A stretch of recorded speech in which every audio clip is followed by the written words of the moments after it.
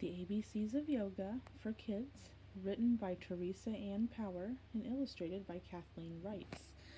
In this book are the, the yoga poses we're going to try today.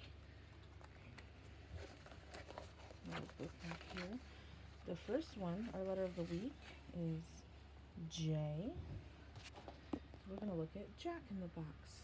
Can you guys sit like this girl is on this picture? Sitting with my knees bent into my chest, I bring my arms around them and take a moment to rest. I point my forehead towards my knees, and for the count of three, I hold still, I freeze. One, two, three. Then inhaling, I lift my head towards the sky, popping up, a jack in the box am I. Oh, that was nice. Now let's see, let's do one more. Miss Heather's birthday was this week, so H for Miss Heather. And that's the happy baby.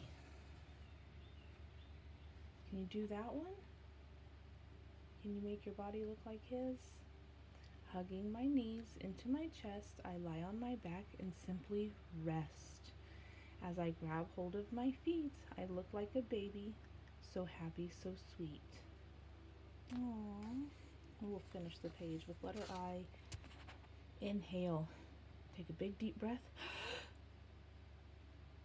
Let it out.